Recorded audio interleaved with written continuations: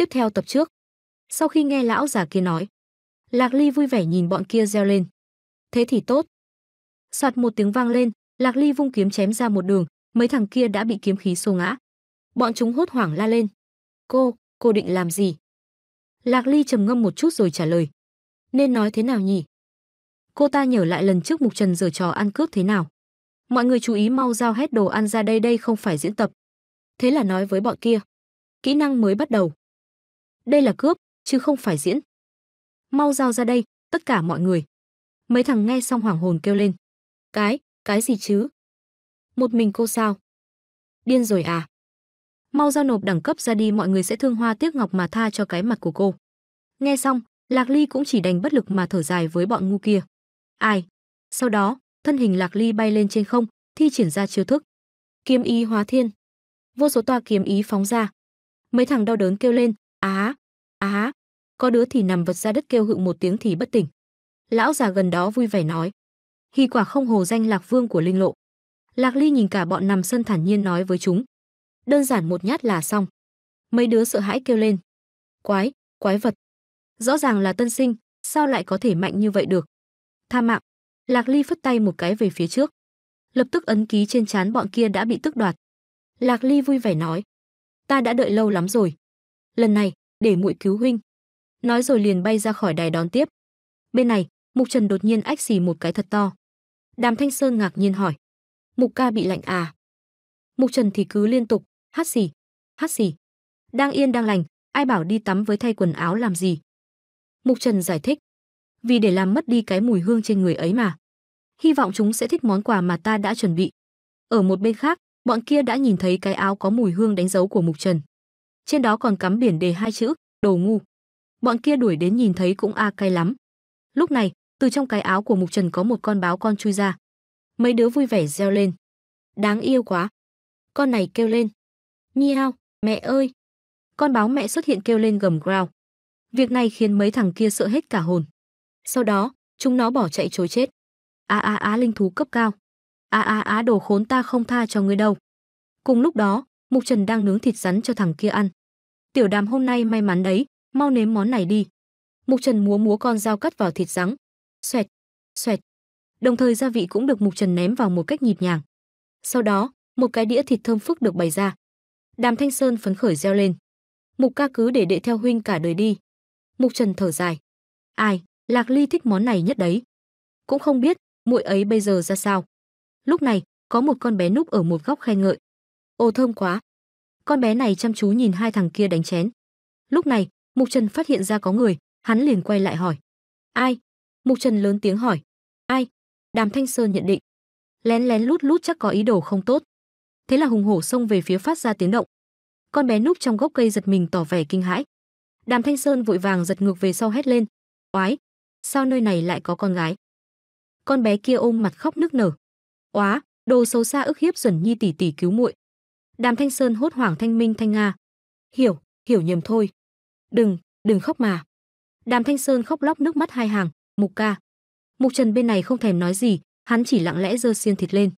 Sau đó, quạt quạt cho hương thơm bay về phía con bé. Con bé lập tức theo mùi hương, không sai không lệch đớp luôn lấy miếng thịt. Nhoàm, ngon, ngon quá. Đàm Thanh Sơn cảm thán. Nhỏ tuổi như vậy mà đã là một tân sinh của học viện. Mục Trần lại hỏi. Này nhóc kia bị đói bao lâu rồi? Cô bé trả lời. Tỷ tỷ nói không được nói chuyện với người lạ. Mục Trần lại nói. Ăn đồ của người ta còn lắm chuyện.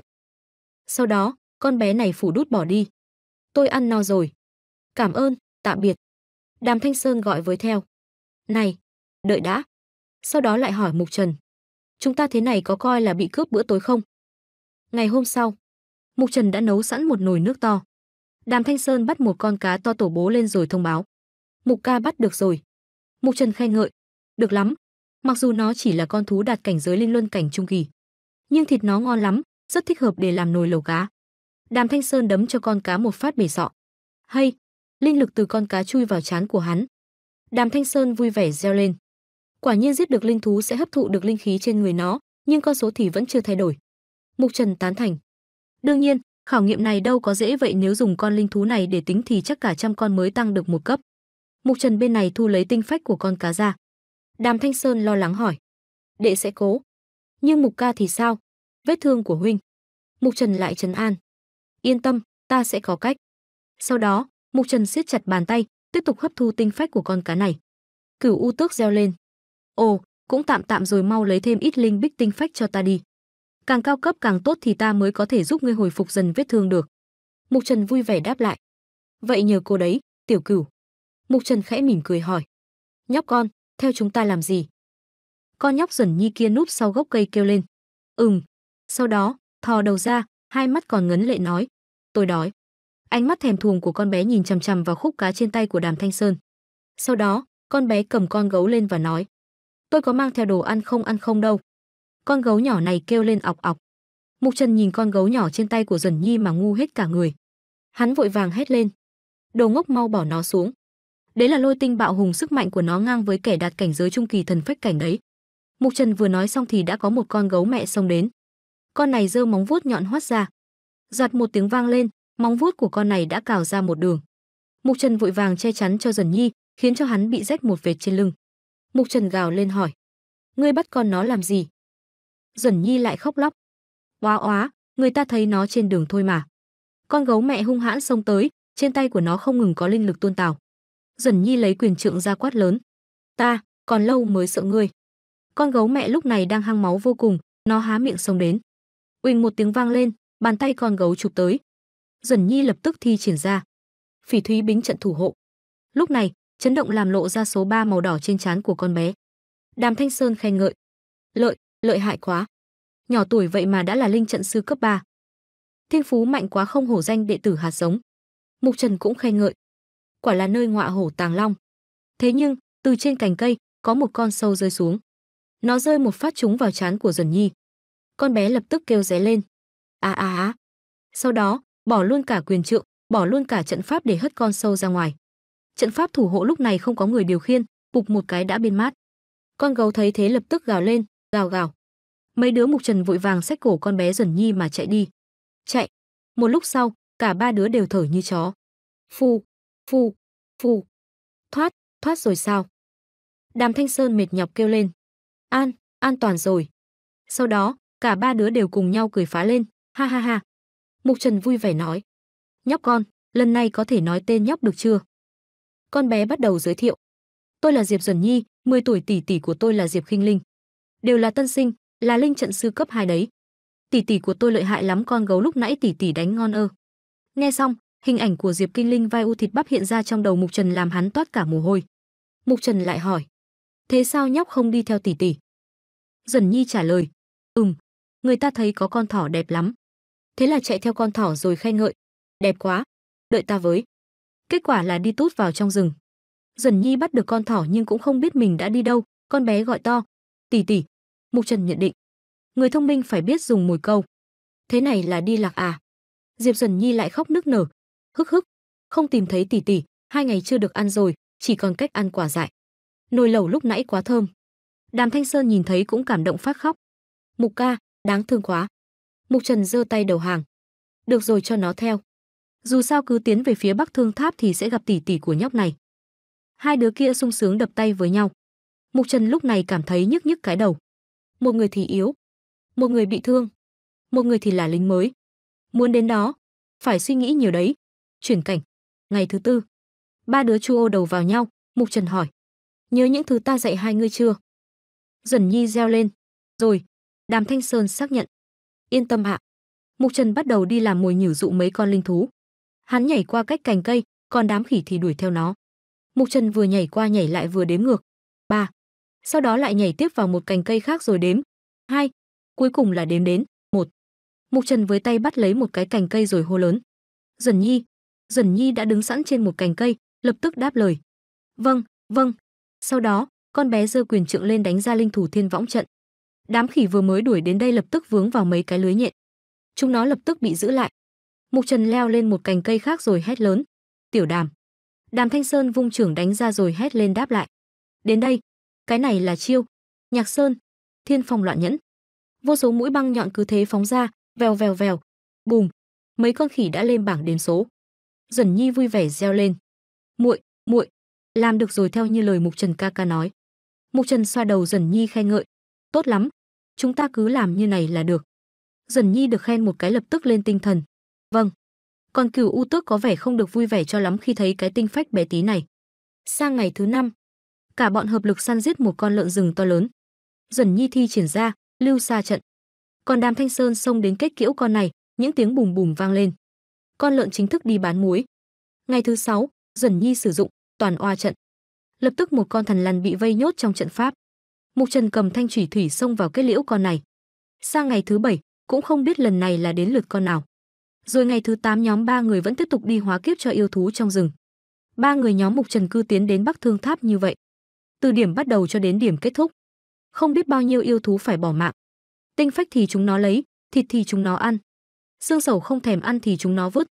Bên trong thức hải của Mục Trần, Cửu U Tước vẫn không hài lòng. Hừ, còn thiếu chút nữa. Sau đó, con bé vận động linh lực vào lòng bàn tay rồi quát lên. Hồi phục cho ta. Linh lực phóng ra sẹt sẹt. Sẹt. Từ trên thân thể của Mục Trần, linh lực bắt đầu tỏa ra mãnh liệt.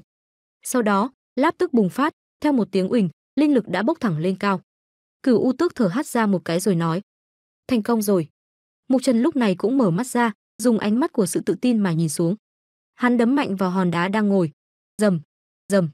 Hòn đá đã bị nổ tung, Mục Trần tung người nhảy lên trên. Hắn vui mừng reo lên. Linh lực ta có thể dùng lại linh lực rồi. Cửu U Tước đã nhắc nhở. Đây mới chỉ là hồi phục bước đầu, kinh mạch của ngươi vẫn còn rất yếu. Không thể chịu được luồng linh lực cảnh giới sơ kỳ linh luân cảnh. Năng lực của ta chưa đủ, nên mới chỉ tạm thời được như này thôi. Mục Trần liền hỏi. Sơ kỳ linh luân cảnh. Thế là tốt lắm rồi, ít ra thì có thể dùng được linh trận. Tiểu Cửu U, cảm ơn nhé. Cửu U Tước hừ lạnh. Hừ đây chính là thứ ta đồng ý với ngươi. Trong lòng nó thầm nghĩ, đáng ghét nếu như bây giờ ta có thể mạnh hơn thì. Bên này, Duẩn Nhi vui vẻ ôm lấy Mục Trần. Mục Trần ca ca.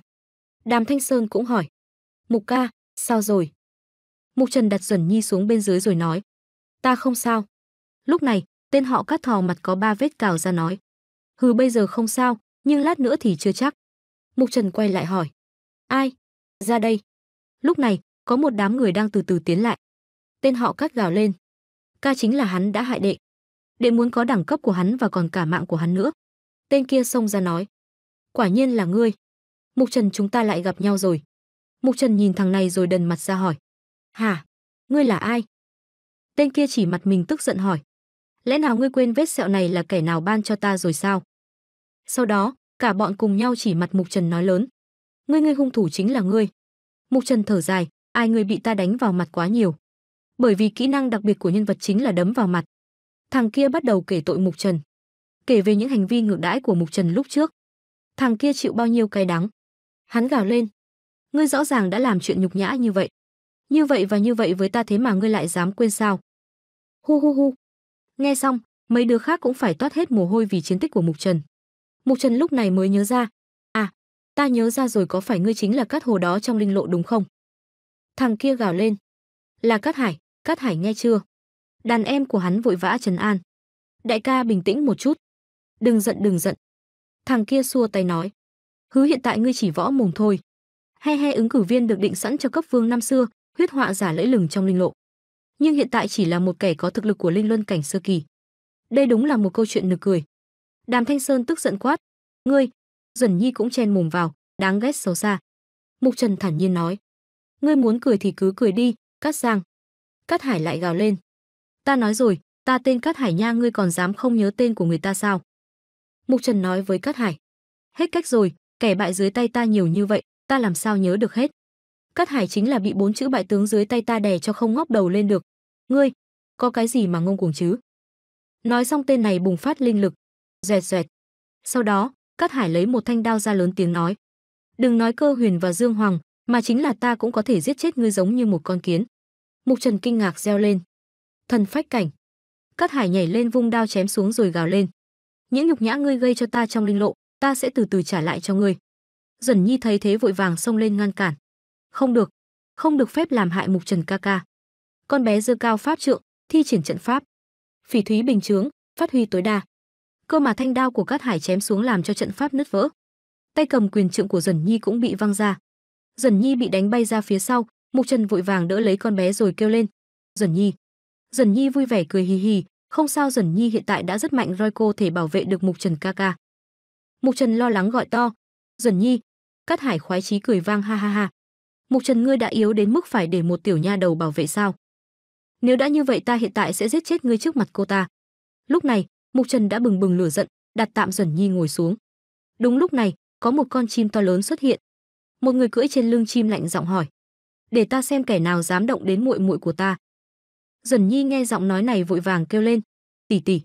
Con chim không ngừng đập cánh làm cho bọn bên dưới choáng váng. Người đứng trên lưng chim lạnh giọng quát lớn: "Cát Hải ngươi to gan lắm!" Cát Hà lúc này cũng nhận ra người đến là ai, hắn hoảng hồn kêu lên: "Diệp Bang, Diệp Khinh Linh!" Mục Trần lúc này đã loại bỏ suy nghĩ lúc trước của mình về Diệp Khinh Linh rồi hỏi: "Đây, đây là tỷ tỷ của Dần Nhi sao?" Dần Nhi vui vẻ ôm lấy Diệp Khinh Linh. "Tỷ tỷ Dần Nhi rất nhớ tỷ." Diệp Khinh Linh vuốt ve Diệp Dần Nhi rồi nói: "Muội đó, đột nhiên không thấy nữa, dọa chết tỷ tỷ rồi." Dần Nhi lại cười hì hì. Lúc này, con đũi tình yêu đã va vào trái tim mơ mộng của Đàm Thanh Sơn. Là con người ấm áp đó, giống như một đóa sen trắng, kiêu ngạo giữa phong trần. Mục Trần vội vàng bảo thằng kia tém tém lại.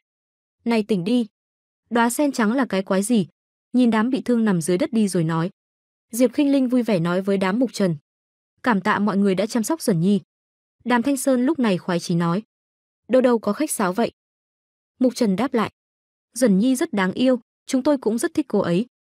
Diệp Khinh Linh đắc ý trả lời. Đương nhiên, muội muội của ta chính là đáng yêu như vậy đó. Duẩn Nhi chỉ vào vết xước trên tay rồi nói.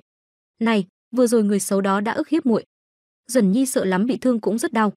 Sau đó, tất cả cùng nhìn vào vết xước nhỏ xíu trên tay Duẩn Nhi. Mục Trần lại hỏi. Đó không phải vết xước do tối qua ăn thịt sao? Diệp Khinh Linh tỏa ra linh lực cuồn cuộn nói. Đừng sợ, có tỷ tỷ ở đây, tỷ tỷ sẽ báo thù cho muội. Dám làm Duẩn Nhi bị thương hôm nay ngươi chết là cái chắc. Cát Hải gào lên.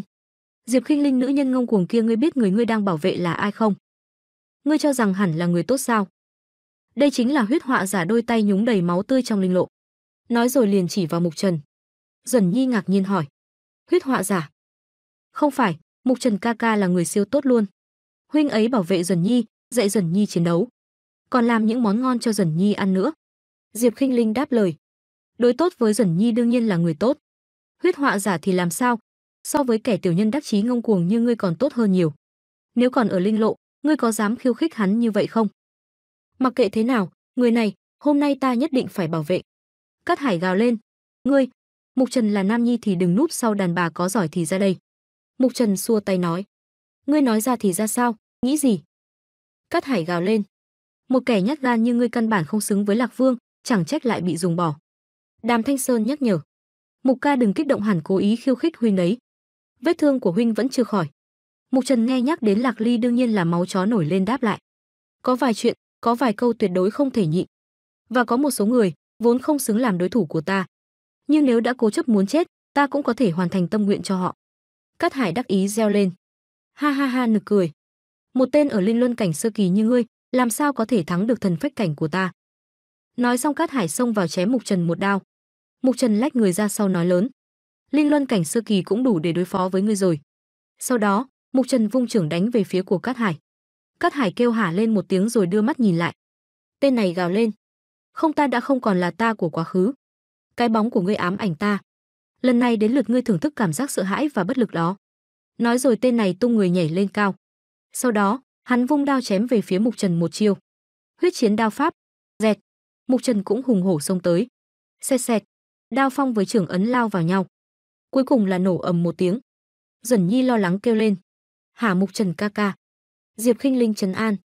Đừng lo lắng, cứ quan sát đi đã. Bên này hai đối thủ bay vù vù lướt qua nhau. Mục Trần lại hỏi. Thần phách cảnh của ngươi chỉ có như vậy sao? Đúng là, khiến người ta thất vọng. Nói rồi hắn đã xuất hiện trước mặt Cát Hải. Sau đó vung tay đánh ra. Xâm la tử ấn, tam trùng ấn. Đàm Thanh Sơn reo lên. Tử ấn của Mục ca từ lúc nào lại tăng cấp vậy? Cát Hải nghiến răng nói lớn. Ta chính là thần phách cảnh, đối kháng chính diện so đấu linh lực tuyệt đột không thể thua ngươi.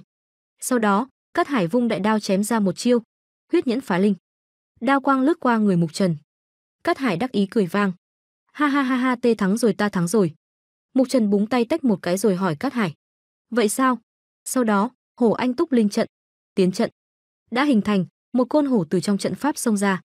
Gầm một tiếng, con hổ xong đến nhe răng cạp cho Cát Hải một phát. Uỳnh một tiếng vang lên, Cát Hải bị chấn cho bật ra ngoài. Tên này kêu lên. A a a a. Diệp Khinh Linh khen ngợi. Chỉ dùng linh lực linh luân cảnh sơ kỳ đã có thể thắng được tên Cát Hải thần phách cảnh. Không hổ là huyết họa giả, được lắm. Diệp Duẩn Nhi vui vẻ khen ngợi. Vậy sao Mục Trần ca ca rất mạnh đó và có rất nhiều, rất nhiều linh trận lợi hại. Trong lòng Diệp Khinh Linh có chút phật ý. Đáng ghét rõ ràng trước đây Duẩn Nhi chỉ sùng bái tỷ tỷ ta đây. Thế là cô ta không mấy thân thiện nói. Cũng chỉ tầm thường thôi, lấy kỹ xảo phá lực, chỉ là chuyện nhỏ. Bên này, Cát Hải đã nằm sân. Sao có thể? Ta sao có thể lại thua ngươi? Mục Trần đáp lại. Ngươi nhớ lời ta đã từng nói trước đây không? Có vài người đã được định sẵn sẽ khiến ngươi vĩnh viễn phải ngước nhìn và sợ hãi. Bất kể là quá khứ hay hiện tại. Nói xong, trên trán của Mục Trần đã hiện lên số 4. Việc này đúng là khiến người ta kinh ngạc. Mục Trần dùng linh lực cuốn lấy đại đao của Cát Hải. Sau đó, hắn thu thanh đao về tay của mình. Nhìn Mục Trần giơ đao kề vào cổ mình. Cát Hải hoảng hồn kêu lên. Đợi đã ngươi không thể giết ta. Nơi, nơi này là nhập học chắc thí trường của Bắc Thương Linh Viện. Mục Trần nhếch miệng cười nhạt. Ngươi nghĩ rằng ta sẽ quan tâm đến chuyên đó ư? Cát Hải lập tức nhớ đến hình ảnh tàn khốc trong linh lộ năm đó. Mục Trần làm thịt không biết bao nhiêu kẻ thù. Tên này sợ tụt quần cây lên. Đừng giết đừng giết ta sẽ cho ngươi toàn bộ linh khí trong ấn ký. Ta, ta còn biết được ở đâu có thể tìm được thần phách âm dương chi. Mục Trần ngạc nhiên hỏi. Thần phách âm dương chi ư? Sau đó, hắn liền hào hứng hỏi. Nói ta nghe nào. Cát Hải xác nhận. Đúng vậy cách nơi này 70 dặm về hướng tây bắc có một sơn cốc nhỏ. Trong đó có một đống bảo vật thiên nhiên. Quý báu nhất chính là cây thần phách âm dương chi. Diệp Duẩn Nhi hỏi Diệp Khinh Linh. Tỷ tỷ, thần phách âm dương chi là gì? Diệp Khinh Linh giải thích. Thần phách âm dương chi có khả năng tăng cường linh lực một cách rõ rệt. Quan trọng hơn là có thể giúp cho linh luân cảnh tiến tới thần phách cảnh. Diệp Duẩn Nhi reo lên. A lợi hại vậy sao? Mục Trần vui vẻ hỏi. Tốt dữ vậy. Thế sao các ngươi không đi lấy? Cát Hải đưa mảnh địa đồ ra và nói. Nửa tiếng trước ta mới nhận được tình báo. Ta đang chuẩn bị dẫn người đến đó thì nghe tin ngươi đã đến. Cửu U Tước bắt đầu kể tiếp câu chuyện. Thế rồi ta đã phải hối hả đến đây tặng thiết bị, tặng kinh nghiệm cho người khác. Đã thế còn bị đánh vào mặt, bia đỡ đạn của nhân vật phản diện. Lúc nào cũng yêu nhân vật chính dã man, man dợ thế đấy. Mục Trần liền hỏi. Này này gần đây ngươi đọc ngôn tình nhiều quá hả? Sau đó, Mục Trần hút luôn linh lực trên ấn ký của Cát Hải. Trên trán của Mục Trần, số năm sáng lên sau lớp vải tre. Mục Trần lạnh giọng hỏi. Ngươi biết rõ hậu quả của việc lừa gạt ta rồi nhỉ? Bây giờ thì, biến. Nói xong Mục Trần cắm thanh đao cái bụp xuống đất dọa cho Cát Hải sợ hết hồn kêu ré lên. À à à. Sau đó, Diệp Duẩn Nhi lẻ lưỡi chế giễu bọn Cát Hải đang cun cút chạy đi, rồi nhảy lên ôm chặt lấy Mục Trần khen ngợi. Mục Trần ca ca thiệt là giỏi quá. Linh trận khi nãy lợi hại dã man dạy ta đi dạy cho ta đi. Lúc này, Mục Trần bỗng nhiên nằm ngửa ra đất. Diệp Duẩn Nhi ngạc nhiên hỏi: "Hở Mục Trần ca ca sao vậy?" Diệp Khinh Linh xoa đầu rồi nhấc em gái lên và nói: "Mục Trần ca ca sắp bị ngươi đè chết rồi." Mục Trần ngồi dậy gãi đầu cười khổ. "Không sao đâu. Với linh lực trước mắt mà miễn cưỡng kết tam trọng tử ấn thì đúng là hơi quá sức." Diệp Khinh Ly ngạc nhiên hỏi: "Ngươi chỉ mới là linh luân cảnh sơ kỳ, cho dù có được thần phách âm dương chi thì cũng không thể đột phá đến thần phách cảnh đầu nhỉ?" Mục Trần đáp lại: "Yên tâm, ta đã sớm đạt được linh luân cảnh hậu kỳ rồi, hiện trạng bây giờ chỉ là do chưa hồi phục hoàn toàn sau đợt trọng thương thôi." Diệp Khinh Linh nhấc em gái nhà mình lên rồi nói: "Thế thì tốt chúng ta đi nào." Mục Trần đần mặt ra hỏi: "Hở?" Diệp Dần Nhi nhắc nhở. "Mục Trần ca ca, nhanh lên nào." Ý của tỷ tỷ là chúng ta cùng nhau đi lấy thần phách âm dương chi cho người ấy. Mục Trần ngạc nhiên đần mặt ra một lúc. Sau đó hắn vui vẻ nói: "Đa tạ." Còn Đàm Thanh Sơn đã bị mê hoặc triệt để. "Đẹp, đẹp quá." Trong lòng lại nghĩ, chỉ là tạ lễ vì ngươi đã chăm sóc cho dần Nhi thôi. Sau đó, đám cát hải cay cú hậm hực kéo nhau vào rừng. Một thằng lên tiếng hỏi, không nhẽ chúng ta nhường thần phách âm dương chi cho tên ấy? Cát hải đáp lại, hư làm gì có chuyện dễ dàng như vậy? Nhanh chóng lan rộng tin đồn cho ta. Thứ nhất, loan tin về địa điểm của thần phách âm dương chi. Thứ hai, linh lộ huyết họa giả, mục trần, hiện đang ở bắc thương giới. Huyết họa giả năm đó, hắn có vô số kẻ thù trong linh lộ. Biết được tin hắn quay về, những cường giả đó chắc chắn sẽ rất là vui. Sau đó, tin tức được truyền đi khắp nơi. Một tên bóp vỡ ly rượu rồi hỏi. Huyết họa giả. Hắn quay lại rồi sao? Mục Trần cuối cùng cũng đã xuất hiện. Được lắm món nợ linh lộ ngày nào, ta sẽ đòi cho bằng được. Nói rồi tên này đâm phập vào cuốn sách. Chuyển cảnh, ngày hôm sau. Diệp Duẩn Nhi reo lên. Chính là nơi này ư, đẹp quá. Diệp Khinh Linh tán thành. Đúng là nhiều thứ thật. Đàm Thanh Sơn cũng nói, đẹp thật. Trước mắt đoàn người là một mảnh thiên địa rộng lớn. cảnh sắc đúng là xinh đẹp. Mấy thằng đi theo Diệp Khinh Linh khoái chí bợ đít. Khinh Linh tỷ nói không sai. Bảo bối ở đây đủ để chúng ta thu thập rất nhiều linh khí. Đợt đi này đúng là đáng đồng tiến bắt gạo. Mục Trần đã nhắc nhở. Đừng vội mừng. Thần phách âm dương chi quý hiếm như thế. Gần đây chắc chắn có rất nhiều cao cấp linh thú bảo hộ mọi người cẩn thận. Diệp Duẩn Nhi vui vẻ reo lên. Mục Trần ca ca, Duẩn Nhi tìm thấy rồi. Ở đó kìa. Chỉ thấy tên một tảng băng phát có một cây hoa âm dương. Mục Trần thầm nghĩ. Đúng là thần phách âm dương chi. Chỉ thấy trên đó có hai con sư tử to tổ bố. Mục Trần kêu lên. Cức vĩ giáp vương sư. Diệp khinh Linh nhắc nhở. Chà, có đến hai con chúng ta mỗi người một con. Mục Trần lại nói. Không đúng, còn có con thứ ba nữa. Chỉ thấy bên trên trời có một con yêu thú đang bay đến. Đứa nào đứa đấy đều hoảng hồn. Con cức vĩ giáp vương sư há miệng khè ra một ngọn lửa. Ầm ầm ầm, cả một ngọn núi đã bị nổ tung. Diệp Khinh Linh vội vàng đỡ lấy Diệp Duẩn Nhi tránh khói đá rơi. Sau đó, một đám người rơi xuống theo mấy hòn đá to lớn. Mục Trần vừa tránh né vừa nói: "Diệp Khinh Linh giúp ta giữ chân chúng ta chỉ cần 3 phút thôi." Diệp Khinh Linh ném Diệp Duẩn Nhi cho Mục Trần và nói: "Được để đó cho ta." Trông coi lấy Duẩn Nhi. Mục Trần đỡ lấy Diệp Duẩn Nhi rồi nói: "Nhờ cả vào ngươi nhé cẩn thận đấy." Diệp Khinh Linh cứ thế nhảy ra bên ngoài. Sau đó, chiếc vòng tay của cô ta sáng lên. Một cây lang nha bổng xuất hiện ngầu lòi. Nữ nhân mà chơi thứ vũ khí này cá tính hẳn là mạnh mẽ. Diệp Khinh Linh dùng lang nha bổng vụt một phát vào chân của con sư tử kia. Con sư tử cứ thế gào lên. Sau đó con này bỏ chạy ra chỗ khác. Mấy đứa lo lắng kêu lên, "Lão đại, Khinh Linh tỷ." Đàm Thanh Sơn lúc này đã tóm được một cành cây. Tên này nhìn Su Ong dưới rồi hét lên thật to, "Không!" Con cước vĩ giáp vương sư lúc này đã nhìn thấy Diệp Khinh Linh rơi xuống. Nó nghĩ đây là cơ hội ngon ăn, lập tức đuổi theo. Diệp Duẩn Nhi lo lắng gọi to, "Tỷ tỷ." Mục Trần liền nhắc nhở. "Duẩn Nhi bình tĩnh nào. Hãy nhớ rằng mình là một linh trận sư. Cho dù thế nào đi chăng nữa, cần phải nhớ rằng chúng ta cần nhất là một trái tim điềm tĩnh." Lúc này, Diệp Khinh Linh tuy rơi xuống nhưng trên mặt không hề có sự sợ hãi. Cổ ta ném cây lang nha bổng về phía Cức Vĩ Giáp Vương sư. Con này há miệng ra phun vào trong cây lang nha bổng. Diệp Khinh Linh đắc ý nói, đến đúng lúc lắm. Sau đó, cô ta thu sợi xích lại, sợi xích xé gió kêu lên vụt vụt. Tiếp đó thi triển ra, Phong Lang, Hỏa Long quyền. Sợi xích múa lên vụt vào cước vĩ giáp vương sư. Mục Trần nhắc nhở Diệp Duẩn Nhi, nếu muốn giúp tỷ tỷ của muội thì phải điểm tĩnh và làm theo lời của ta. Diệp Duẩn Nhi lắp bắp nói, ta, ta muốn giúp tỷ tỷ. Lúc này, Mục Trần vừa bày pháp trận vừa nói, đúng thế cứ làm theo ta. Tiến vào trạng thái tâm trận hãy tin vào chính mình muội sẽ làm được thôi. Nghe xong, Diệp Duẩn Nhi liền nhắm mắt định thần. Trận pháp bao quanh người hai đứa bắt đầu thành hình phát ra những tiếng rẹt rẹt rẹt. Hai tay của Diệp Duẩn Nhi bắt đầu kết ấn, trong lòng thầm nghĩ, ta làm được rồi. Uỳnh một tiếng vang lên, trận pháp bắt đầu tỏa ra linh lực. Mục Trần khen ngợi, tốt lắm đúng là thế này. Tiểu Đàm, đến lượt ngươi rồi. Đàm Thanh Sơn lập tức buông mình xuống dưới rồi hô lên. Vâng. Đàm Thanh Sơn nhanh chóng đón đỡ lấy Diệp Khinh Linh, bế cô ta vào lòng. Sau đó tên này đạp vào mùng con sư tử bên dưới tung người nhảy lên. Bên trên, Diệp Duẩn Nhi hai tay đẩy ra trận phép. Mục Trần cũng điều khiển tâm trận. Lập tức chúng nó hô to. Kim Luân liệt linh trận, khởi. Trận pháp mãnh liệt cứ thế tấn công vào mấy con yêu thú bên dưới. Lúc này, Đàm Thanh Sơn vừa hay hoàn thành nhiệm vụ.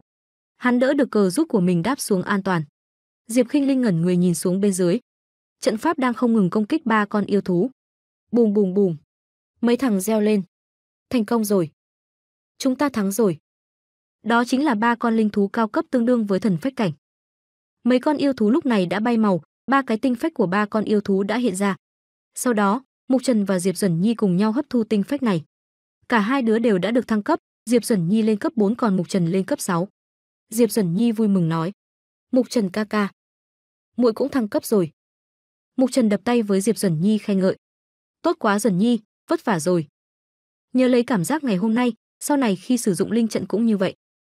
Diệp Duẩn Nhi thông minh lanh lợi nên học rất nhanh, ổn định, bình tĩnh, không bị ảnh hưởng bởi thế giới bên ngoài, chọn linh trận phù hợp nhất. Duẩn Nhi nhớ rồi. Mục Trần xoa đầu Diệp Duẩn Nhi khen ngợi. Đúng rồi, chỉ cần chuẩn bị đầy đủ, linh trận sư chúng ta sẽ rất mạnh mẽ. Diệp Khinh Linh bước tới và nói. Đúng vậy, lần này may nhờ có Duẩn Nhi. Và Mục Trần nữa. Thế nhưng cô ta trừng mắt lên quát Mục Trần. Ai cho phép ngươi xoa đầu muội muội ta, nhanh bỏ tay xuống. Muốn chết thì thử không làm xem. Mục Trần vội vàng giơ tay đầu hàng. Diệp Dần Nhi ôm lấy Diệp Khinh Linh nói: "Tỷ tỷ, sau này Dần Nhi cũng có thể giúp đỡ được tỷ tỷ rồi." Diệp Khinh Linh vui vẻ ôm lấy em gái khen ngợi. Dần nhi của chúng ta giỏi nhất. Đàm Thanh Sơn nhìn hai chị em âu yếm nhau hai mắt lập tức sáng lên khen ngợi. Cảnh tượng phía trước thật đẹp. Mục Trần đi ra nhắc nhở. Tiểu Đàm, cậu hình như đã quên chuyện gì đó. Đàm Thanh Sơn ngạc nhiên hỏi. Sao, chuyện cái gì? Mục Trần chỉ vào vết thương trên lưng của Đàm Thanh Sơn nói. Vết thương của cậu. Nghe xong, Đàm Thanh Sơn lập tức đổ vật xuống kêu lên. Á. Mấy đứa ngơ ngác hỏi. Sao đột nhiên lại ngất như vậy? Vừa rồi không phải vẫn khỏe sao? Mục Trần ôm đầu than thở. Đúng là kẻ đang yêu. Việc Đàm Thanh Sơn ngất đi cũng khiến cho Diệp Khinh Linh có chút bất ngờ. Chuyển cảnh, màn đêm buông xuống. Cả đám bắt đầu đốt lửa sưởi ấm, dựng lều trại nghỉ ngơi. Mấy đứa vui vẻ nói với nhau. Ha ha, lần này thu hoạch được không ít. Ngươi xem tiêu ký của ta tăng lên một cấp rồi này. Ở bên tổng lêu, có người đang nói. Khinh Linh tỷ, yên tâm đi, chỉ là vết thương ngoài da thôi. Chỉ là vết thương ngoài da nên chỉ cần bôi thuốc, nghỉ ngơi một đêm là khỏe. Hóa ra là y sư đã băng bó cho Đàm Thanh Sơn. Diệp Khinh Linh khách khí nói với thuộc hạ mấy câu. Vậy thì tốt, vất vả rồi, cô cũng đi ăn chút gì đó đi. Nhớ nhắc nhở mọi người, không được lơ là cảnh giác. Sau đó, y sư cũng đi ra ngoài. Mục Trần bỗng nhiên thở dài thườn thượt. Ai? Mục Trần cung kính hành lễ với Diệp Khinh Linh. Đa tạ, bởi vì chúng tôi mà lỡ dở hành trình của cô. Diệp Khinh Linh đáp lại. Không cần khách khí. Cậu ta vì bảo vệ tôi nên mới bị thương. Nếu thần phách âm dương chi đã vào tay, nhân tối nay có Diệp Bang canh giác. Ngươi hãy luyện hóa nó đột phá thần phách cảnh đi. Có thực lực rồi thì sau này sẽ không bị nguy hiểm như lần này nữa. Mục Trần nghe xong cũng cho là phải liền đồng ý. Cung kính không bằng tuân mệnh. Sau đó, Mục Trần tiến lên một mỏm núi cao bắt đầu ngồi luyện hóa. Linh lực cháy bừng bừng trên người của hắn phát ra những tiếng rẹt rẹt. Cửu U Tước nói với Mục Trần, linh mạch của ngươi vẫn chưa hồi phục hoàn toàn. Hiện tại hấp thụ thần phách âm dương chi có chút nguy hiểm. Mục Trần phản đối, không thể đợi nữa, tình huống nguy hiểm giống như hôm nay. Sau này sẽ còn có rất nhiều, nhưng không phải lần nào cũng may mắn như vậy. Nếu muốn đi tiếp, ta phải có sức mạnh. Cửu U Tước nghe xong cũng tán thành. Được, vậy ta sẽ phụ giúp ngươi một tay. Mục Trần liền nói. Xung kích thần phách cảnh. Chính là lúc này. Thế rồi Mục Trần bắt đầu luyện hóa thần phách âm dương chi. Ở một nơi gần đó, mấy đứa ngơ ngác hỏi nhau. Mùi gì vậy? Thơm thật. Diệp Uẩn Nhi ngạc nhiên hỏi. Hả, sao không thấy Mục Trần ca ca? Diệp Khinh Linh trả lời. Mục Trần ca ca của muội có chuyện quan trọng phải làm, lát nữa sẽ quay về. Ở một nơi cách đó không xa, có mấy thằng đang quan sát đám Diệp Bang. Hóa ra là hai thằng Cát Hải. Tên này thắc mắc. Kỳ lạ hình như có mùi thơm. Tên kia vừa đuổi mũi vừa hỏi. Ca, mấy người đó sao vẫn chưa tới? Cát Hải trả lời. Sẽ nhanh thôi. Hư đánh bại linh thú bảo hộ không dễ dàng gì, đợi bọn họ đến. Bên này, Mục Trần vẫn đang luyện hóa thần phách âm dương chi. Từng dòng linh lực bị hắn hấp thu. Sau đó, linh lực luân chuyển qua người hắn rồi bốc lên trời phát ra những tiếng ầm ầm. Ở bên trong khí hải của Mục Trần, linh lực như dòng nước đang cuộn trào. Cửu U Tước nhìn Mục Trần bên dưới tỏ vẻ thèm thuồng. Hi, thơm thật, linh lực thuần khiết như vậy có mùi vị thật tuyệt. Mục Trần thấy thế liền nhắc nhở con kia. Này, tiểu Cửu U, không chế mình lại đi, tém tém đi bà nội. Cửu U Tước lau nước dãi rồi nói. Được thôi, vậy ngươi luyện hóa nhanh một chút, không được bỏ mê hoặc ta. Mục Trần đáp lại. Không cần ngươi nói xem ta thấp thụ nó ngưng luyện thần phách. Sau đó, tên này bắt đầu vận chuyển linh lực, phát động công pháp, đại phù đồ quyết. Những dòng linh lực đan xem không ngừng tiến nhập vào khí hải đan điền của Mục Trần. Ầm ầm ầm. Linh lực mỗi lúc một nhiều, ầm ầm ầm. Sau đó, tiến nhập vào trong cơ thể của Mục Trần. Nhìn thấy cảnh này, Cửu U Tước reo lên. Tuyệt thật, linh luân viên mãn rồi. Tiếp tục. Mục Trần vẫn tiếp tục hấp thu, luân chuyển linh lực, quá trình cứ thế lặp đi lặp lại. Cuối cùng, một cái thần phách cũng hiện ra sau lưng của Mục Trần. Cửu U Tước nhìn thấy lập tức chun ga vẻ mặt mong chờ. Sau đó, Mục Trần ngưng tụ linh lực trong đan điền khí hải. Quá trình này diễn ra tương đối mệt mỏi, mồ hôi Mục Trần tuôn như suối. Sau đó, dòng linh lực của Mục Trần được vận chuyển đến tay trực chờ phát tiết ra ngoài. Hòn đá dưới chân Mục Trần nổ ầm một tiếng. Linh lực chấn động mỗi lúc một nhiều. Rẹt rẹt, ầm. Cửu U Tước nhắc nhở. Giữ lấy, đừng lãng phí linh lực của thần phách âm dương chi. Đây chính là thời điểm quan trọng nhất. Linh luân cảnh tấn cấp lên thần phách cảnh. Điều quan trọng nhất là phải ngưng luyện trong khí hải linh luận đề xuất linh thức thần phách. Mục Trần nghe xong, lập tức thi triển linh quyết, đại phù đồ quyết. Một tòa tháp hiện lên giữa hai bàn tay của hắn. Sau đó, ngon tháp lớn dần, tiết chế linh lực không cho tản mát ra ngoài. Những tiếng ầm ầm lại phát ra. Sau đó, linh lực hội tụ lại thành một cái thần phách hình người. Viu viu, ánh sáng chói mắt phát ra. Cửu U Tước reo lên. Thành công rồi. Đây chính là thần pháp của nhân loại các ngươi sao? Đây là lần đầu tiên ta nhìn gần như vậy. Mục Trần nhìn thần phách của mình ngạc nhiên kêu lên. Đây, đây chính là thần phách của ta. Cửu U Tước vui vẻ nói. Nhìn trông đáng yêu thật. Cơ mà vừa mới chạm tay được vào thần phách thì thần phách của Mục Trần đã vỡ tan. Mục Trần nhìn thấy cảnh này thì sợ đến tái mặt. Hắn gào lên. Thần phách của ta. Cửu U Tước giả bộ ngây thơ vô số tội nói. Không, không liên quan đến ta. Sau đó, thần phách của Mục Trần một lần nữa lại xuất hiện. Cửu U Tước ngạc nhiên hỏi. Hả? Nhanh nhìn xem. Lại xuất hiện rồi. Mục Trần bị dọa cho một phen sợ hú hồn hỏi. Tình huống như vậy là bình thường sao? Thần phách của cha ta hình như không phải như vậy. Cửu U Tước vuốt cằm suy nghĩ. Ừm, ta biết rồi. Chân tướng chỉ có một. Linh lực của hồn phách âm dương chi bị linh luân và linh mạch của ngươi tiêu hao đi một phần, dẫn đến linh lực nguyên luyện thần phách không đủ. Cho nên hắn mới có bộ dạng như thiếu dinh dưỡng vậy. Nói rồi lại chọt tay vào thần phách của Mục Trần.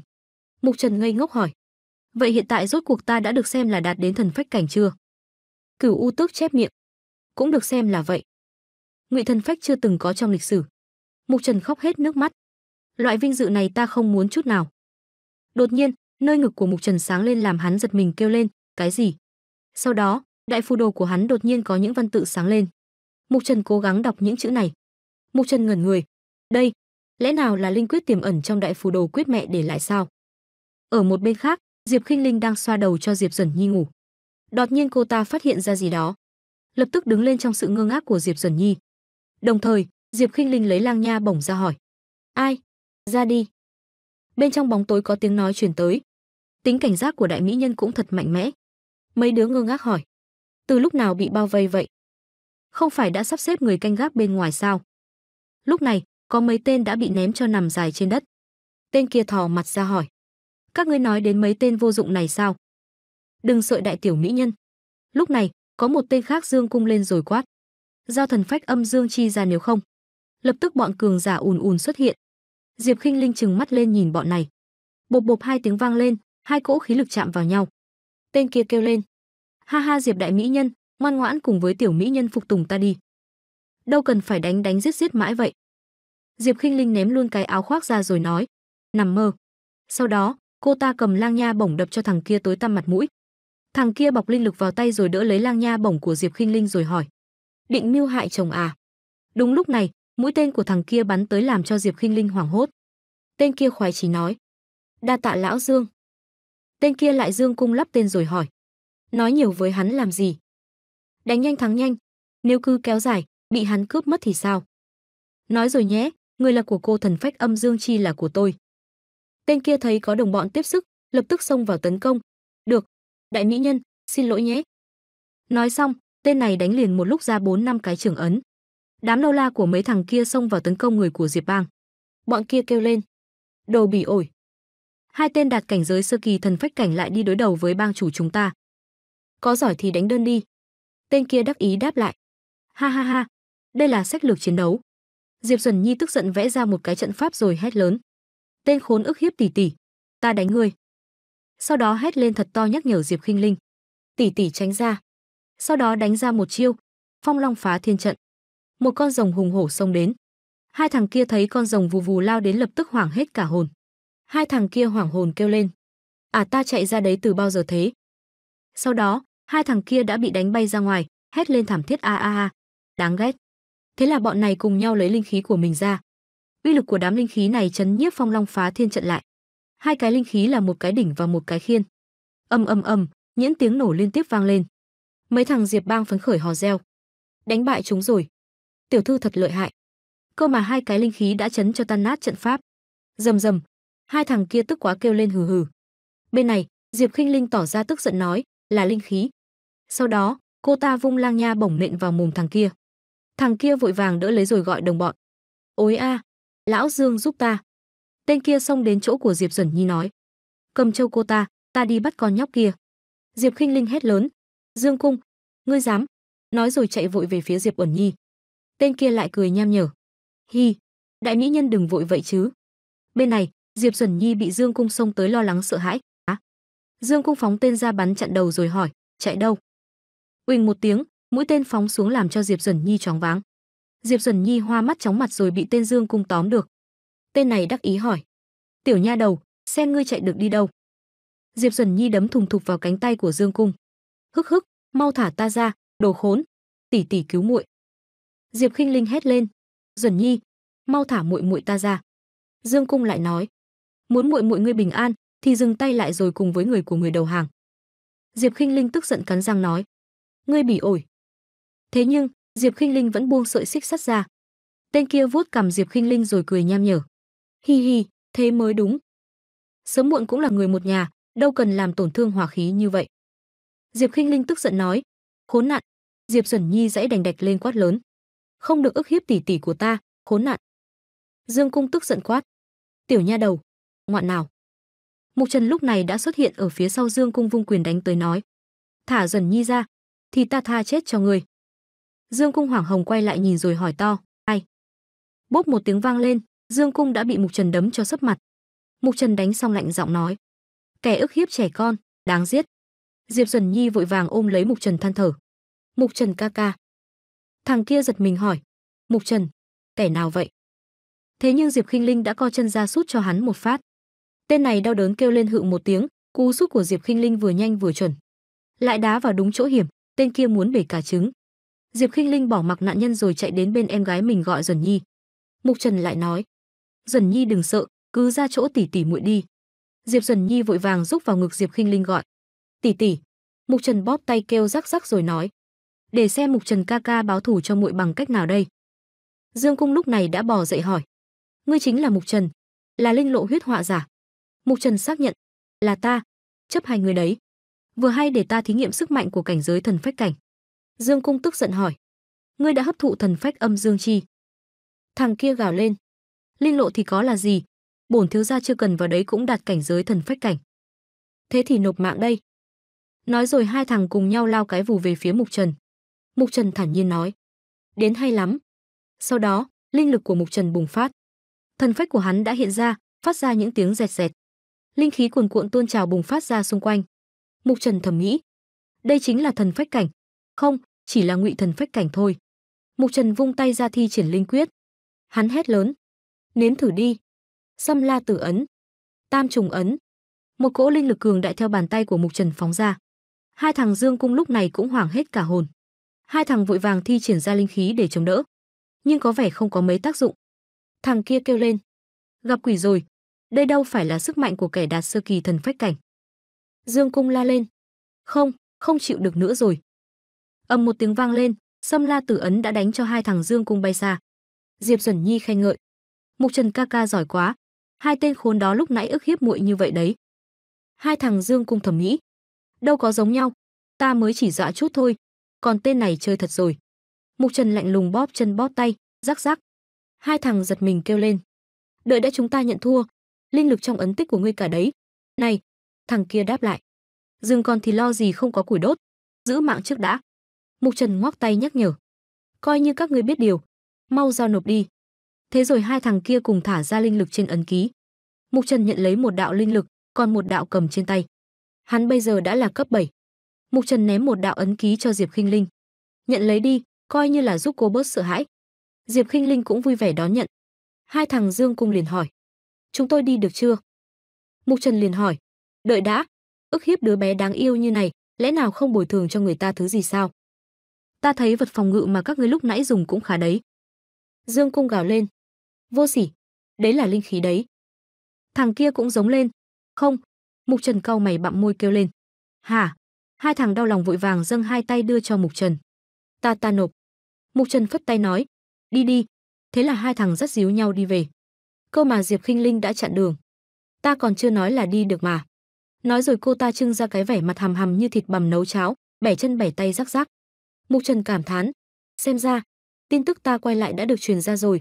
Lạc Ly, nàng có biết điều này không? Ở bên kia, Diệp Khinh Linh đang trả đạp mấy thằng kia.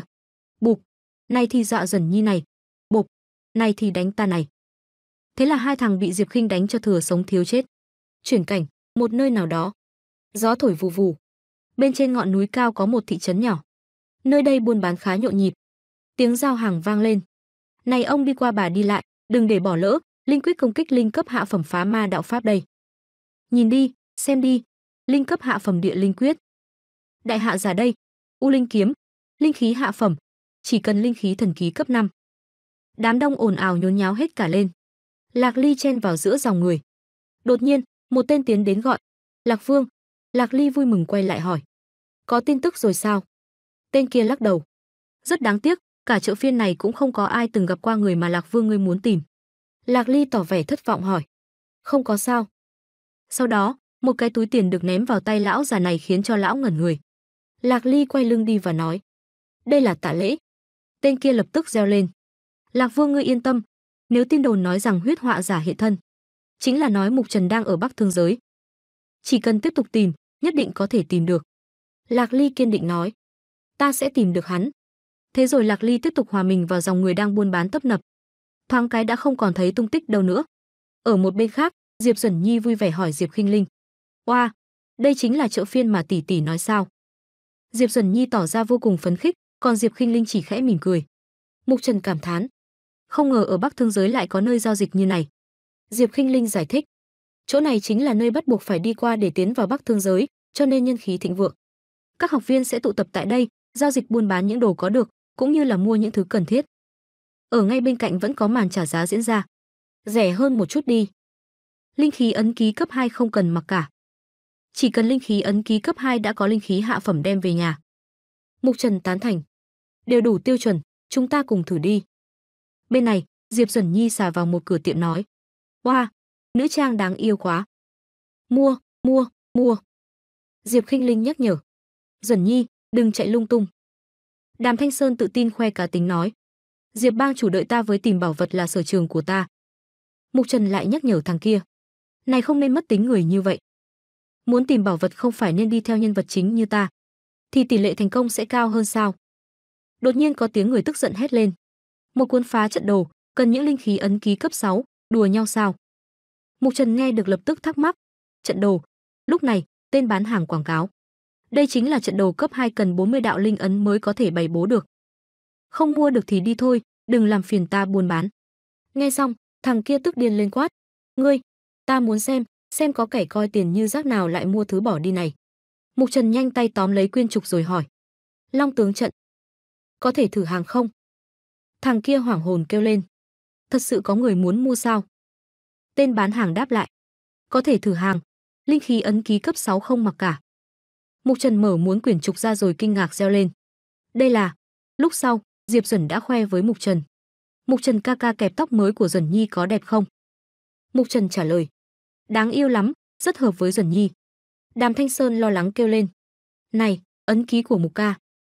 Thế là cả bọn nhìn vào ấn ký trên trán của Mục Trần đã về số 1. Mục Trần thản nhiên hỏi lại. Cái này sao? Ta dùng để đổi được thứ không tồi. Đàm Thanh Sơn ngạc nhiên hỏi. Thứ gì mà đắt như vậy? Cũng may hiện tại không phải thanh toán tức khắc, nếu không Mục ca sẽ bị loại rồi. Mục Trần giải thích. Linh khí lại tích sẽ có, quan trọng là con đường sau này phải đi thế nào. Diệp kinh Linh nói với hắn.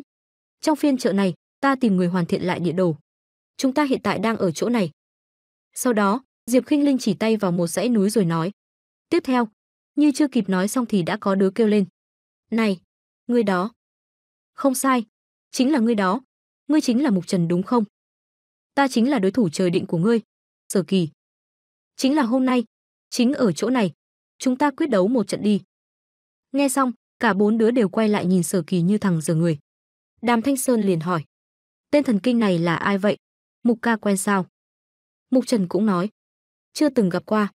Diệp khinh Linh chép miệng. Đừng quan tâm đến hắn, tiếp tục nghiên cứu địa đồ thôi. Thấy cả bốn đứa đều bơ đẹp mình, Sở Kỳ nghiến răng hỏi. Đáng ghét, dám coi thường ta sao? Nói rồi hắn đáp CHAP xuống đất, soạt một tiếng đã phóng đi. Sở Kỳ nhảy cái vù lên trên cao đồng thời trên tay của hắn xuất hiện mấy mũi phi đao. Tên này cứ thế phóng xuống chỗ mấy đứa Mục Trần đang đứng lập tức cả đám nhảy lùi về phía sau. Bộp, bộp bộp. Tất cả cùng lùi lại còn Diệp Khinh Linh đã ôm lấy Diệp Duẩn Nhi ngồi ra một góc. Sở Kỳ chỉ mặt Mục Trần nói lớn: "Mục Trần, là nam Từ Hán thì đến đây đánh với ta một trận. Nếu như thua, sau này không được phép xuất hiện trước mặt Lạc Ly nữa." Mục Trần tức giận hỏi: "Lạc Ly? Hứ, dựa vào cái gì?" Sở Kỳ liền đặt tay lên ngực nói: "Chính là dựa vào trái tim vàng thuần khiết 24 ca này." Mục Trần nghe xong hoảng hết cả hồn hỏi: Hắn đến đây làm trò cười sao? Sở Kỳ lại được dịp chế giễu. Ngươi xem đẳng cấp hiện tại của ngươi đi, quả nhiên, ngươi căn bản không xứng với Lạc Ly. Chỉ biết ôm chân cô ấy, khiến cô ấy tổn thương. Lời này chính là mũi tên đâm chí mạng với Mục Trần. Tuy nhiên đối với Mục Trần thì liêm sỉ gì tầm này. Hắn thản nhiên ném chuyện này sang một bên rồi đáp lại. Chuyện giữa ta và Lạc Ly không đến lượt người ngoài phán xét. Sở Kỳ nghe xong lập tức gào lên. Ta đây không phải người ngoài. Từ khi Lạc Ly cứu ta, ta đã thể rằng chỉ lấy một mình cô ấy. Nói rồi vung móng vuốt cào vào chỗ Mục Trần mấy đường. Xẹt xẹt xẹt. Mục Trần thản nhiên nói. Vậy cả đời này ngươi cứ sống độc thân cho đến chết đi. Sau đó, hắn đánh ra. Xâm la tử ấn. Một cái ấn ký đã xuất hiện phóng ra. ầm, Trường ấn của Mục Trần va chạm với thiết chảo của Sở Kỳ. Sở Kỳ lập tức bị chấn lui lại, hắn nhảy về phía sau nói: "Hứ, cũng xem như có chút tài cán, nhận chiêu này của ta đi." Hai tay của Sở Kỳ đan vào nhau, tích tụ linh lực rồi đánh ra chiêu. Vẫn thạch ba. Mục Trần bên này cũng xuất ra một cái trận pháp, linh lực không ngừng vận chuyển phát ra những tiếng rẹt rẹt. Cái này chính là Kim Luân Liệt Linh trận. Trận pháp này đã xử đẹp ba con sư tử lúc trước, bây giờ bổ thẳng xuống đầu Sở Kỳ. Sở Kỳ lúc này mới choáng váng. Quả nhiên là linh trận sư. Thấy khí thế của trận pháp cường hãn như vậy, Sở Kỳ cũng bùng phát linh lực. Tên này triệu hoán ra thần phách, Bích Nhãn Kim Tinh thú. Diệp Khinh Linh cảm thán, thần phách thú hắn luyện hóa là Bích Nhãn Kim Tinh thú xếp hạng thứ 99 trong vạn thú, có thể so sánh với thiên giai linh thú địa cấp. Diệp Duẩn Nhi tỏ ra lo lắng gọi to, "Tỷ tỷ, Mục Trần ca ca." Mục Trần lúc này cũng không dám coi thường đối thủ, ánh mắt của hắn rất ngưng trọng đề phòng. Từ trên đầu của Sở Kỳ đã hiện lên một quả cầu. Kim tinh thần trưởng. Á, quả cầu linh lực cứ thế bùng phát, rẹt rẹt. Sau đó, thu phách của Sở Kỳ lao vào chỗ của Mục Trần. Áp lực của Sở Kỳ đè xuống, chấn cho mặt đất vỡ nát. Mục Trần thản nhiên nói, "Đến đi, để xem ai mới có đủ tư cách ở bên Lạc Ly." Thế là cuộc chiến giành gái chính thức bắt đầu. Mục Trần nhảy lên trên cao, sau đó vung tay tấn công vào quả cầu linh lực của Sở Kỳ. Rẹt rẹt rẹt. Hắn hét lên thật to, chấn áp, dầm một tiếng vang lên, linh lực nổ tung. Sở Kỳ bên này đã thổ huyết ra ngoài, hiển nhiên hắn đã bị nội thương. Bên này, Mục Trần cũng phun hết cả tiết ra, há miệng kêu lên đau đớn. Sau đó, hai thằng lại hùng hổ xông vào nhau. Sở Kỳ hét lên thật to, lại đến. Đúng lúc hai thằng chuẩn bị khô máu với nhau thì mặt đất dưới chân chấn động ầm ầm. Cửu U Tước đang ngủ ngon lành thì bị chấn động đánh thức. Thế là nó kêu lên, không ổn rồi, nhanh tránh đi có nhưng chưa nói xong thì mặt băng bên dưới đã phát ra tiếng nứt vỡ. Rắc rắc. Từ dưới mặt băng có một con dao long thì đầu lên há miệng muốn sơi tái hai thằng. Sở Kỳ nhìn thấy lập tức kêu lên. Băng huyền linh dao. Mục Trần cũng hoảng hồn la lớn. Linh thú thiên giai. Băng huyền linh dao há miệng gào to, gào gào. Sau đó, nó phun hàn khí về phía Mục Trần và Sở Kỳ. ầm ầm. Sở Kỳ hốt hoảng gào lên. Gì đây? Sao nơi này lại có thể xuất hiện băng huyền linh giao được? Băng huyền linh giao lúc này đã bay tít lên cao sau đó nó chừng mắt nhìn hai tên bên dưới rồi nó há miệng phun ra một cái lốc xoáy hàn khí về phía sở kỳ mục trần vội vàng ôm lấy thằng này kéo ra đồ ngốc không thích sống nữa à hàn khí lập tức khiến cho lớp đá ở bên dưới bị đóng băng sau đó nổ bùm bùm sở kỳ lúc này đã được mục trần bế trên tay. Hắn than thở. Ôi, nguy hiểm quá. Sau đó quay sang nói với mục trần. Đa tạ. Mục trần thả thằng kia xuống khiến hắn bật ngửa rồi nói. Tiện tay thôi, đừng có lãng phí sinh mạng này đấy. Sở kỳ bị thả ra lập tức chới với. Này, sở Kỳ đứng lên rồi nói với mục trần. Thực ra ngươi cũng không tồi nhưng ta thực sự không thích ngươi. Mục trần đáp lại. Như nhau thôi. Cửu u tức gào lên. Không có thời gian cho các ngươi hóa thủ thành bạn đâu. Nó đến rồi mau chạy đi thế rồi lại một luồng hàn khí đánh xuống ầm một tiếng hai thằng sở kỳ với mục trần vội vàng né sang hai bên cẩn thận mục trần thầm nghĩ con băng huyền linh giao này trước đó chắc ở ngủ đông ở băng hà nó tích tụ năng lượng để chờ cho lần lột xác thứ ba. Một khi thành công, thì nó sẽ có cảnh giới hậu kỳ dung thiên cảnh chỉ kém chúng ta một chút thôi. Mục Trần gào lên. Chúng ta không thắng được. Mau nghĩ cách chuồn thôi. Sở kỳ lớn tiếng nói. Còn phải nói sao? Vấn đề là chúng ta bị rơi từ trên đó xuống. Băng cốc này đâu có lối ra. Mục Trần nhận định. Chỉ có cách trèo lên thôi. Sở kỳ lập tức tán thành. Sau đó, cả hai thằng cùng nhau nhảy lên vách băng dựng đứng. Con băng huyền linh giao chừng mắt lên nhìn hai thằng đang cố gắng chạy trốn. Nó lắc mình một cái, vô số tảng băng nhọn hoắt phóng ra. Vèo vèo. Những mũi băng nhọn cứ thế cắm vào vách băng kêu lên ầm ầm. xoạt xoạt. Mục Trần cũng bị những mảnh băng nhọn bắn ra như mưa làm bị thương. Sở Kỳ bên này cũng không thoát khỏi số phận, chân hắn cũng đã bị băng nhọn cắt trúng. Cả hai thằng cùng nhau rơi xuống. Sở Kỳ gào lên. Đáng chết, lẽ nào phải chết cùng ngươi tại đây sao? Thật không cam tâm, trước khi chết ta thực sự muốn được gặp lại Lạc Ly. Mục Trần lúc này vừa hay tóm được chân của thằng này quát, cầm miệng. Một tay còn lại của Mục Trần tóm vào vách băng, hắn tức giận nói, còn nói nữa ta thả tay ra đấy. Nghe xong lời này, Sở Kỳ há mồm hoảng hốt. Lúc này, vách băng không ngừng kêu lên những tiếng rắc rắc. Sở Kỳ nhìn Mục Trần rồi lớn tiếng nói, quả không hổ là người con gái ta thích, thật có con mắt nhìn người.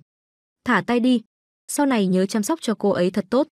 Mục Trần tức giận quát, nói ít thôi, chưa đến phút cuối thì không được từ bỏ. Cơ mà cái ống quần của Sở Kỳ đã rách ra sắp đứt. Cửu U Tước lại nói, cứ thế này không ổn, để ta giúp ngươi. Lúc này, con huyền băng linh dao đã phóng hàn khí xông tới. Cửu U Tước nhắc nhở, hãy vận luồng khí này theo lời ta. Ầm một tiếng vang lên, hàn khí đã đánh vào chỗ hai thằng đang bám. Từ trong lớp băng, Mục Trần đã bay ra ngoài.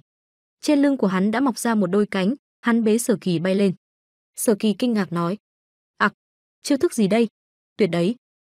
Mục Trần trả lời: "Là chiêu thức có thể cứu mạng." Cửu U Tước nhắc nhở: "Đừng lãng phí thời gian chiêu này chẳng được bao lâu đâu." Bên này, Diệp Khinh Linh hỏi bọn kia: "Định làm gì vậy? Ngăn cản chúng ta cứu người sao?" Tên kia lại nói: "Hiểu lầm thôi. Lão đại chẳng có ác ý gì đâu. Dù sao chúng ta cũng cần xuống đó cứu người, chi bằng cùng nhau làm." Diệp Khinh lại lại nói: "Ta không tin các ngươi." Diệp Duẩn Nhi nhắc nhở: "Tỷ tỷ, cứu người trước, nhỡ đâu Mục Trần ca ca." Diệp Khinh Linh xoa đầu con bé Trần An. "Yên tâm, cái vực này chẳng làm gì được hắn đâu." Đúng lúc này, Mục Trần đã bay lên khỏi băng vực. Hắn hét lên thật to, "Mọi người!" Đàm Thanh Sơn kêu lên. "Mục ca!" Nhìn Mục Trần đang bế Sở Kỳ, tên kia kêu lên. "Hả? Tư thế này đâu có phù hợp logic đâu." Mục Trần gào lên. "Mau chạy đi!" Nghe xong, mấy thằng đần hết cả mặt ra. Đàm Thanh Sơn run rẩy hỏi, hình như trở nên lạnh rồi. Lúc này, ở bên dưới vực có một luồng không khí lạnh lẽo truyền tới. Băng Huyền Linh giao vót lên gầm gào. Mấy thằng nhìn thấy sợ hết cả hồn. Cái gì vậy? Cứu mạng. Thế là cả bọn chạy sống chạy chết. Một lúc sau, cả đám mệt mỏi ngồi xuống. Vù, cuối cùng cũng thoát. Ôi mẹ ơi, suýt chút nữa là mất mạng. Mục Trần ngồi bệt xuống đất thở dài. Suýt chút nữa là toi, cũng may không ai làm sao.